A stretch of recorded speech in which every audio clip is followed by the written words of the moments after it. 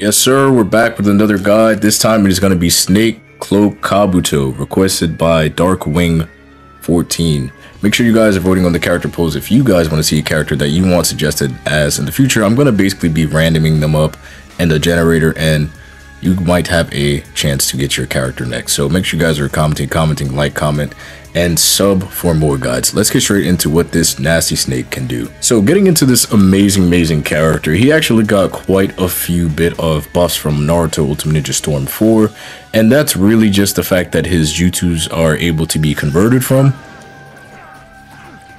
As you can see, you can continue, and the fact that you can now do his air combo and convert into like most characters. He has two infinites, one from Naruto Ultimate Ninja Storm 4, which is the easiest. I'll show you the first one. You're just gonna go ahead and wait for him to pull his opponent by the leg, jump, simple stuff, keep going.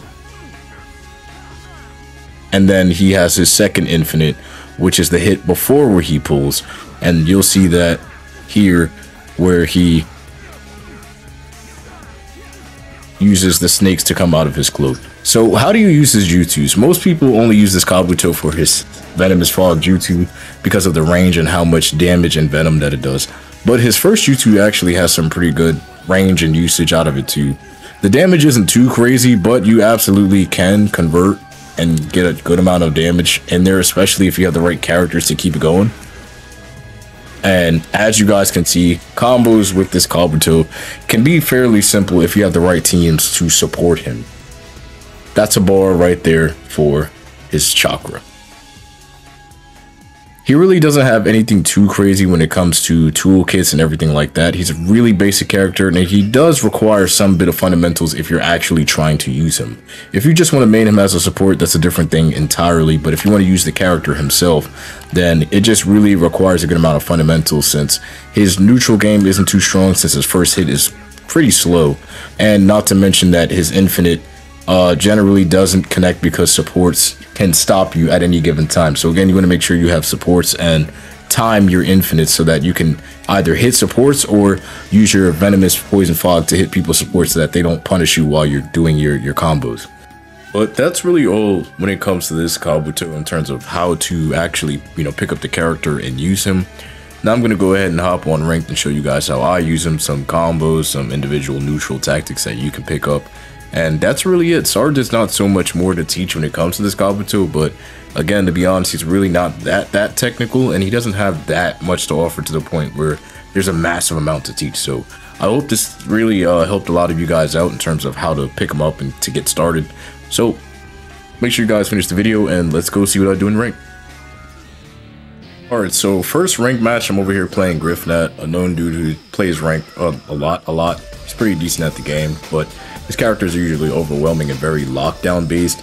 So I did take the L this game, but the point of these uh, guides is to show you guys how I use the characters at the best moments, not whether or not I really lose a game or not. So I definitely lost this game, but at a certain point during the match, I was definitely pulling off some really nasty Kabuto stuff, and I really tried to focus on using him as my main uh, rather than using him as a support character and I'll show you guys how to do that later on after these matches. But this is basically just some solid gameplay of me versus Griffnet. After he cooks me there, after a little while, I just start locking in and pulling off some really, really cool, dope Kabuto combos. So you guys can pick up some of these for yourself. And uh, this is just a really good Kabuto team that I suggest that you guys can try out because all the snake dudes work well together and uh, there's a couple other teams you can use with him as well. But yeah, that's it for me on my audio right now. Just go ahead and enjoy some of these combos and take note of how I use them, my timing, my pacing. And again, it doesn't really matter whether you lose or, or win. It's just whether or not you have mastery over a character and can, and can use them if you enjoy them. So, uh, yeah.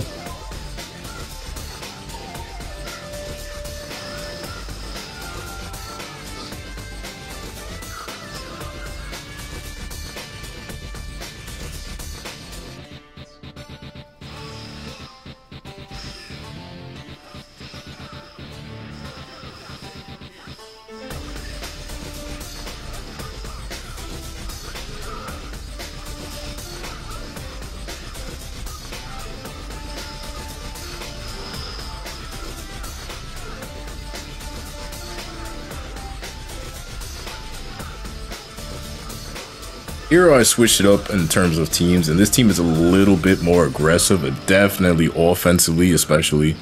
Uh, this team is extremely offensively uh, aggressive, with Naruto being who he is and Rasa being there to back me up in case I get caught or to lock the opponent down. It, the amount of aggression is absolutely insane, and it just works really, really well when it comes to this character. Uh, don't do what I did there, something like a dumbass trying to be thirsty for hits because I lost a lot of damage off of that. But if I didn't do that, then I would have definitely killed him there. But this team is definitely really good. I definitely suggest you guys can use this too, depending on which Naruto you want to use. It works well with Boruto Naruto, but I really like the new Naruto, so I went ahead and picked him up. Besides, I, I don't like Boruto Naruto that much anymore. And Rasa, of course, being Rasa until the patch, he's just everything you need in terms of offense and defense. And he's a good character himself. One day I'll be doing a guide on that, so check him out. But overall, this match was really just offensively uh, me forcing uh, him to come to me and me having the basically unlimited neutral just constantly coming at him, coming at him, not really giving him any chance to breathe. So that's really it on this match. And I pretty much do the same thing on this last match after this one. And it really comes down to me uh, using Kabuto as a support type. As I was showing you guys, uh, telling you guys earlier, I'm going to show you how to do that. And you'll see me do that a lot this game right here. The second round of me using Kabuto as a support, getting that poison off, and then switching off when needed to complete combos that do high damage. So again, that's pretty much it for the Kabuto guide. I hope you guys do enjoy the gameplay and understand a little bit more on how to use this character and what to do and what not to do. So uh, next guide coming up will be Kawaki. The gameplay is already done. I'm already done. I just have to do the voiceover. So you guys really do not have to wait that long. And I'm going to try to get these guides out a lot quicker in the future. So if you guys like these, hey man, keep showing me support. The likes, the comments, I absolutely love the engagement from you guys. The questions, the inquiries, all that stuff is great on my end. So this has been Kaizen Guides. I hope you guys enjoy the rest of the gameplay. If you have any questions at all, hit me up in the comments. Nothing is a dumb question. And I'll see you guys on the next guide. Laters.